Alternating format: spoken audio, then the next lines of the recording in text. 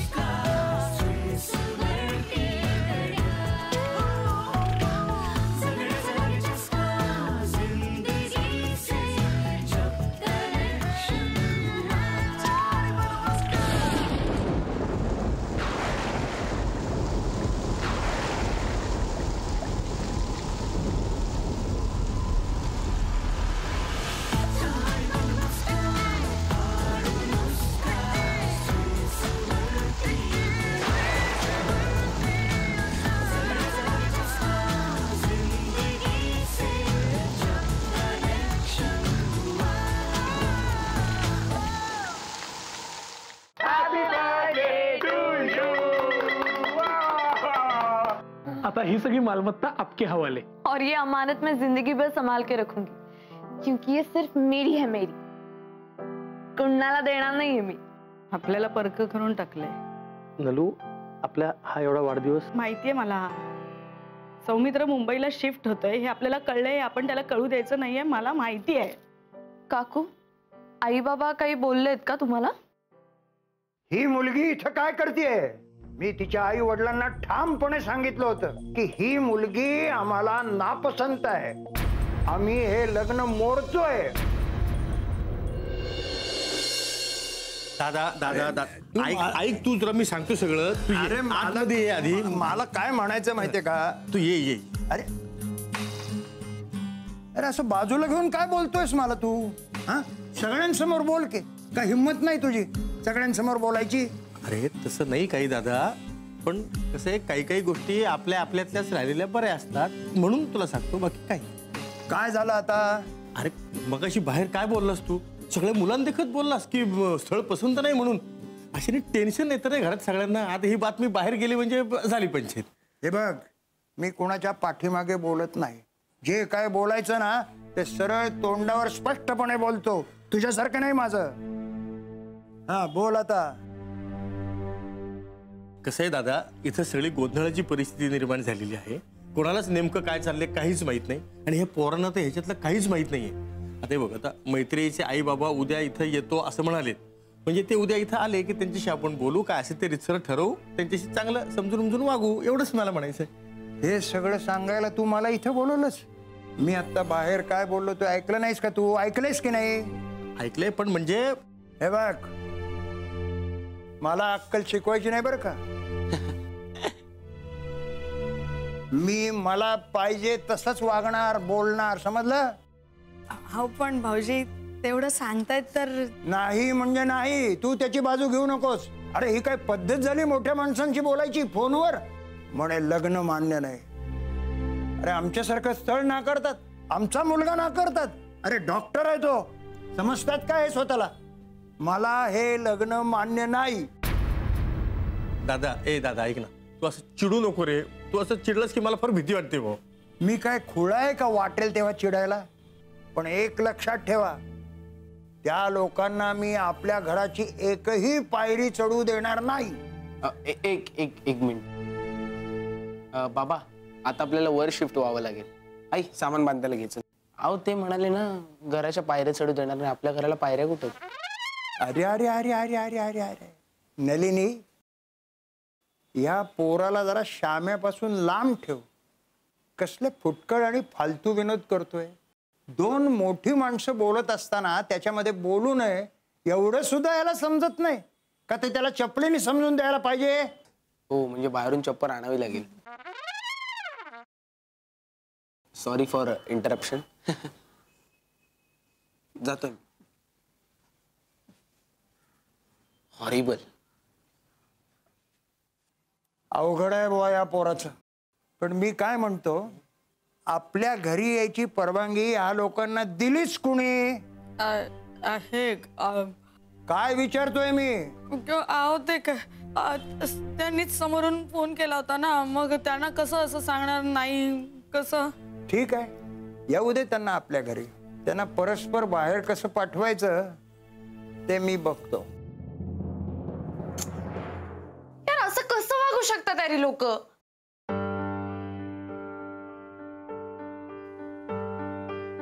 Enough मी त्यांना आत्ताच्या आत्ता फोन लावते आणि विचारते की तुमचं नक्की काय चाललंय. फोन दे मला चल. अगं आत्ता किती वाजले? ते झोपले असतील सगळे. एवढी रात्र झाली. नंतर बोल ना. पण इथं आपली झोप उडाली त्याचं काय? हा? काय रे दोस्तांनो?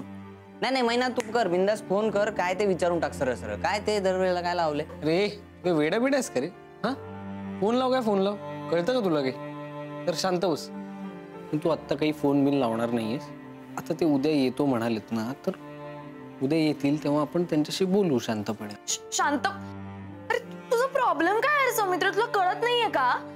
हे जे असं तुझं सारखं म्हणणं असतं ना असं शांतपणे समोरासमोर बसून चर्चा वगैरे करू त्यांनी काही होत नाही. का- का- काही होते त्याने त्यांनी मी तुला परत परत तेच तेच सांगते तू समजून घ्या नाही तर आता आपल्यात भांडणं होतील.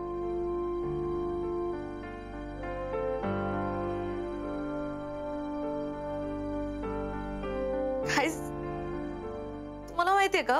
माझं लग्न होत नाहीये. त्या पाठीमागे कोण व्यक्ती आहे? ते तुम्हाला असं वाटत असेल की माझे आई बाबा आहेत पण तसं नाहीये. या व्यक्तीमुळे माझं लग्न होत नाही. कारण हा जो आपला मित्र आहे ना डॉक्टर सौमित्र यांनी अशी एक प्रतिज्ञा घेतली डीडीएलचे टाईप त्यांनी एक प्रतिज्ञा घेतली आहे की जोपर्यंत माझे आई बाबा आमच्या लग्नाला तयार होत नाही तोपर्यंत ही व्यक्ती माझ्याशी लग्न करणार नाहीये. बरोबर आहे का हे? तुम्ही सांगा आता. आता तुम्ही सांगा. तुम्ही सांगा मला की बरोबर आहे का? तुम्हाला काय वाटतंय ते तुम्ही सांगा मला. एक मिनिट मैत्री त्यांना का मध्ये आणते नाही नाही, कळू दे ना त्यांनाही कळू दे. बोला रे बोला तुम्ही. बिंदास बोला. काय डॉक्टर सौमित्र? अशी प्रतिज्ञा प्रतिज्ञा घेतो का तू? चुकीचे बाबा आहे काय बरोबर नाही तुझं. बरोबर आहे रोकडे. ही अशी प्रतिज्ञा म्हणजे काय? आता म्हणजे मी तर म्हणेन फुटलेला पेपर नाकारण्यासारखंच आहे. हा म्हणजे सौमित्र तू असं कसं करू शकतोस ना? म्हणजे तुमच्या रिलेशनशिपला आता किती? तीन वर्ष होत आलेत. मग तू असं नाही वागू शकत ना मध्येच. आणि मुळात तुमच्याबद्दल तुमच्या रिलेशनशिपबद्दल सगळ्यांना माहिती आहे. हा? त्यामुळे तू असं मध्येच बॅकआउट नाही करू शकत ना? तू नाहीच. मुळात असं वागूच शकत नाही. इट्स रॉंग हे बघ ऋतू मी बॅकआउट करत नाहीये. मी जे काय केलं ते हिच्या चांगल्यासाठीच केलंय. म्हणजे हिचं आणि हिच्या आईबाबांचं नातं व्यवस्थित व्हावं म्हणून सगळं केलं ना? अच्छा. ओ right so now you are giving me therapy I get that just like my mom and dad should have known that नाही काहीच काहीच फरक नाहीये तुमच्यामध्ये. बरोबरच आहे तू तेच करणार. तू तुला तुला माहितीये का सौमित्र हे जे संवाद संवाद हे जे तू म्हणतोयस ना ते मी एवढीशी असल्यापासून खेळते आणि त्याचा काहीही उपयोग झालेला नाहीये हे मला आता कळून चुकलंय.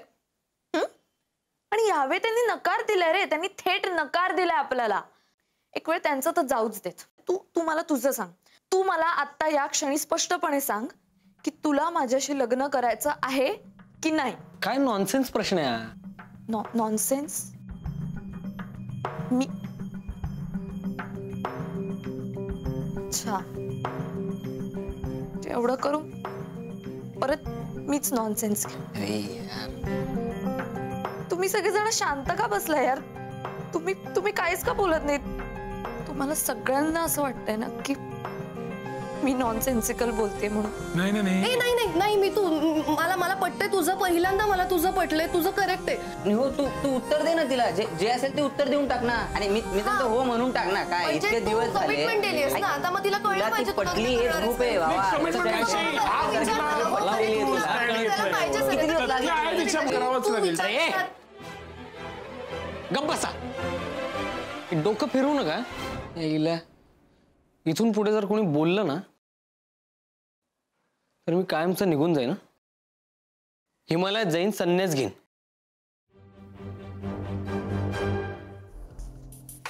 याची पण त्या चुंबक सारखी चहा बी हल्ली का काय? अरे दादा ते काय? हं? काही नाही.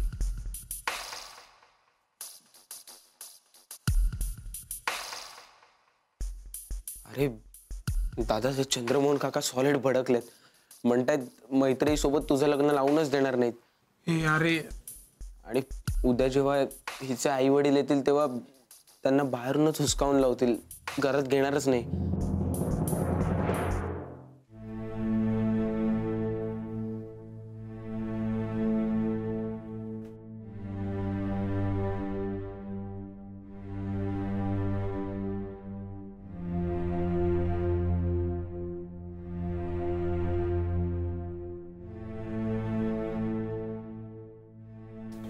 काहीतरी राड आहे यार. ए बघत काय बसली? जा ना. थांबव त्याला. येड झाले ते भैसटल्यासारखं करायला. जा जा. आई काय चाललंय? बाबा काय तुम्ही आत येऊन इकडे काय बोलताय? हं? बघ आम्ही म्हणजे तुझं लग्न कसं काय? हेच ना की माझं लग्न कसं होऊ द्यायचं नाही असंच ना? मी मी मी ते ऐक ना प्लीज थंड घे ना. प्लीज उगाच राडा नको यार. अरे अरे अरे अरे. राडा? काय भाषा या मुलीची? आणि असल्या मुलीशी तुम्ही लग्न करायला निघाला होतात? कमाल आहे. एक मिनिट काका. हे बघा एकतर आधी तुम्हाला हे लग्न मान्य होतं. आणि अचानक तुमचं मत बदललं. आता तुमचं मन बदललं त्यामुळे आम्ही आमची मतं बदलायची का तुमच्याप्रमाणे? सौमित्र तू जरा शांत डोक्याने विचार कर. अरे ज्या ठिकाणी जावयाचा आदर सत्कार करणारे सासू सासरे नाहीत तिथे आपण लग्न करायचं. समजा लक्षात ठेव ते जर उद्या इथं आपल्या घरी आले ना तर मी त्यांचं काहीही ऐकणार नाही. बास झालं आता. दादा अरे जाऊ दे ना तू कशाला उगाच आणखीन एक मिनिट नाही बाबा आता आता बास झालं. उद्या आणि ते आले आणि तुम्ही त्यांचं ऐकून नाही ना घेतलं शांतपणे? तर आई बाबा मी आफ्रिकेच्या जंगलात निघून जाईल कायमचं. येणारच नाही परत. बसा लग्न लावत काय बोलतोय हा? असं का वागतोस तू सौमित्र? आधी म्हणलं हिमालयात जाणार आता म्हणतो आफ्रिकेत जाणार मला काहीच कळत नाही हो काकू. अगं ते त्यांनी जागा चेंज केली असेल. थंडी वाजत असेल तिथे त्याला. होतं असेल विघ्नेश आत्ता नको. आत्ता खूप मार खाशील. खरंच आत्ता नको. प्लीज हां? सौमित्र मी बोललो तर चालेल ना? सगळेजण शांत बसा आणि मी काय सांगतोय ते नीट ऐका. हे बघा आज सौमित्राचा वाढदिवस आहे. त्यामुळं आज आपण त्याचं काय म्हणणं आहे ते सगळं ऐकूयात. कळलं का? हो बरोबर आहे. काय बरोबर आहे? बरोबर नाही हे चुकीचं आहे. एक मिनिट. माझा वाढदिवस आहे म्हणून माझं ऐकू नका. माझं लग्न आहे म्हणून माझं ऐका. ठीक आहे हे माझं लग्न आहे. त्यामुळे निर्णय मी घेणार. मला हवं तसंच होणार आहे. ठीक आहे? आणि प्लीज़ काका तुम्ही तुमचं म्हणणं माझ्यावर लादत जाऊ नका. म्हणजे तू फायनली माझ्याशी लग्न करणार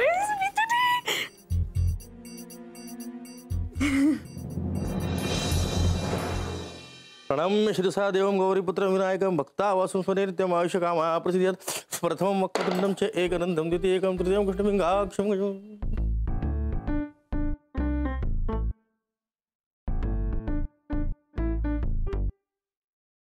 पाहुणे मंडळी आली खायला बसली की त्यांना पोह्याच्या डिश शेजारी हा कंगवा दिसणार. नाही नाही मी काही सांगणार नाही कारण आम्हाला ताकीद दिले ना सक्त. काही बोलायचं नाही म्हणून. अरे नाही दादा तू बोल. काय पाहिजे ते तुम्ही बोला सगळे. फक्त सौमित्रच्या कानावर ते पडणार नाही इतक्या हळू आवाजात बोला एवढंच माझं म्हणणं आहे. बोला.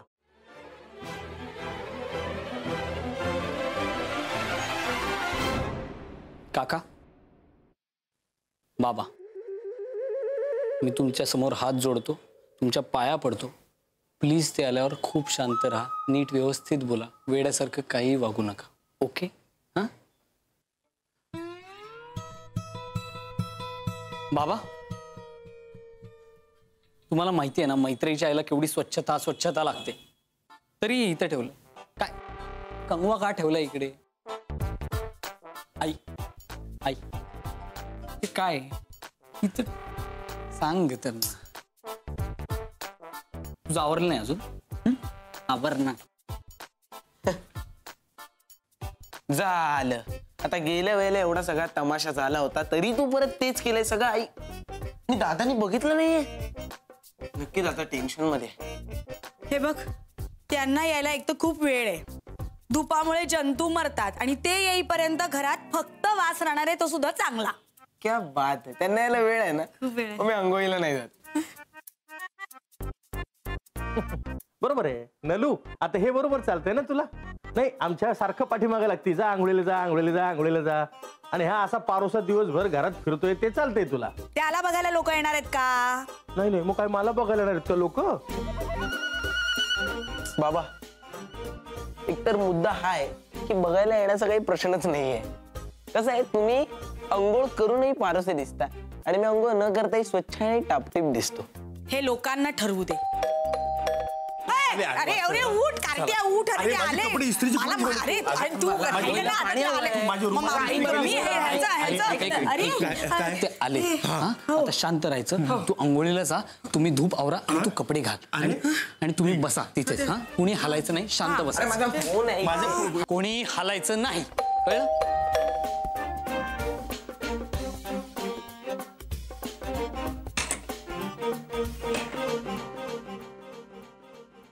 आले नाही आहेत का ते अजून? नाही नाही आले.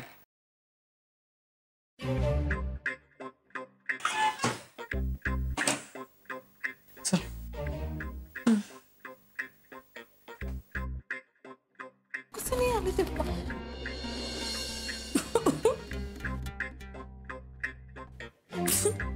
का काकू? का झालंय? असे का थांबलेत सगळे? राजपुत्रांनी सगळ्यांना सक्त ताकीद दिली. हलायचं नाही बोलायचं नाही काय करायचं नाही? हा, म्हणून मी अजून अंघोळीला नाही गेलोय. मी अजून कपडे सुद्धा नाही बदलले आंघोळ झाल्यावर.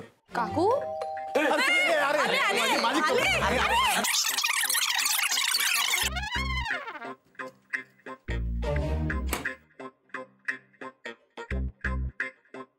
या ना या. नमस्कार. थांबा. मैत्री.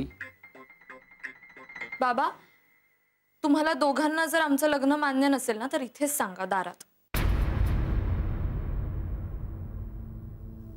मैत्री बाळा. काकू तुम्ही पण थांबा please behave Maitri.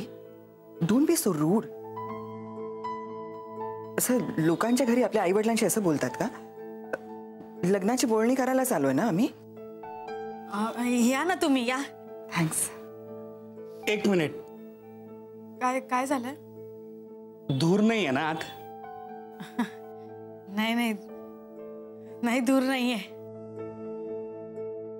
आणि धूर असायला आधी आग तर असायला पाहिजे ना? आणि दूर झाला ना तर दरवाजा खिडक्या उघडू नाही का? उघडू तुम्ही या हो तुम्ही आत या. या या.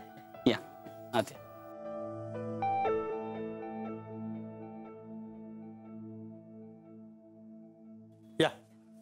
या या या बसा सगळे निवांत बसा. आता आलाच आहात तर बसा.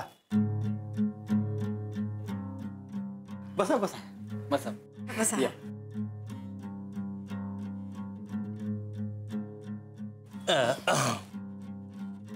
अ, हे आमचे ज्येष्ठ बंधू चंद्रमोहन. हो. मी या घरातला ज्येष्ठ मेंबर आहे.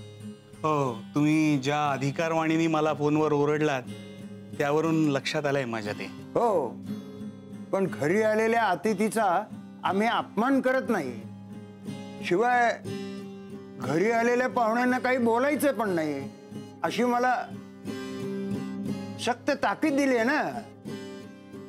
म्हणून मी काही बोलणार पण नाही. काय रे सौमित्र? हो काका बरोबर आहे. या बाबतीत मी अगदी तुमच्या बरोबर आहे. मुली तुझं काहीही कधीही बरोबर असू शकत नाही.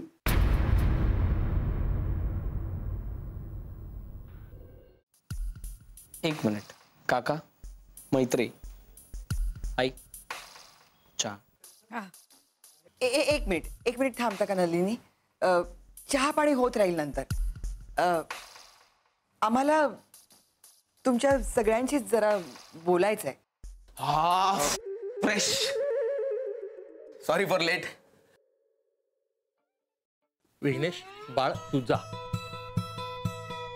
Be serious we are having some important charcha. त्यासाठी चाललोय. म्हणूनच तू जा. अरे. बाबांचं ऐकायचं. बाबांनी जा सांगितलं ना?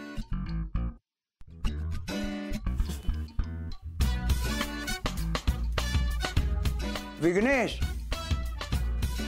जाऊ नकोस इथं माझ्या शेजारी बस. मी? काकाला काका काकांना माहिती नाही तू बस इथे. पण हे तुझे आई वडील आहेत ना यांना लाज वाटेल असं काही करू नकोस. समजलं? नाही तुम्ही बोला. थँक्स तुम्हा सगळ्यांना जसं माहिती होतं की सौमित्र आणि मैत्रेयी प्रेमात पडलेत. तसं आम्हाला याच्याबद्दल काहीच माहिती नव्हतं. मग एकदम अचानक मैत्री मुंबईला धडकली ऑपरेशन थिएटरमध्ये आली आणि तिने आमच्यावरती बॉम्ब टाकला ह्या बातमीचा. पण टू टेल यू ऑनेस्टली आम्हाला पहिल्यापासूनच हे लग्न अजिबात मान्य नव्हतं.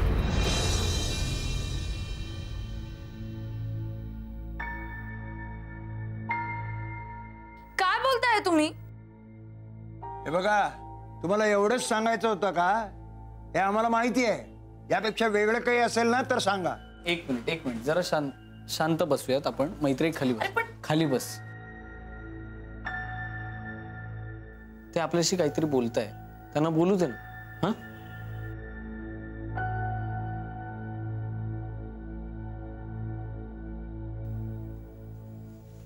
Yes ma'am please thanks Saumitra.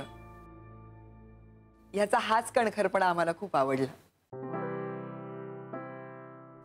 सौमित्रने असा स्टँड घेतला होता की आम्हाला मान्य असल्याशिवाय तो मैत्रीशी लग्न करणार नाही. आणि मग मधल्या काळात अ, मैत्रेयी आमच्याकडे मुंबईला आली आणि आमची मुलगी नव्यानेच आम्हाला भेटली पुन्हा. ह्याचं सगळं श्रेय बरं का? सौमित्रला जात. आणि नंतर मग तो जेव्हा भेटला तेव्हा म्हणाला की अ, मैत्रीच्या करिअरसाठी तो मुंबईला शिफ्ट व्हायला सुद्धा तयार आहे. हे त्याचं बोलणं आम्हाला खूप आवडलं. हिला. हिला आवडलं. म्हणजे हिला अजूनही असं वाटतं की सौमित्रांनी मैत्रिणीसाठी खूप मोठा त्याग वगैरे केला पण ते मला तेव्हाही फार पटलं नव्हतं. म्हणजे इनफॅक्ट मला त्याचा कुठलाच स्टँड आवडला नव्हता कधी. म्हणजे बोर्डात येऊनही होमिओपॅथीला जाणं फॅमिली डॉक्टर होणं कुठलीच ॲम्बिशन नसणं मला नाही पटलं कधीच.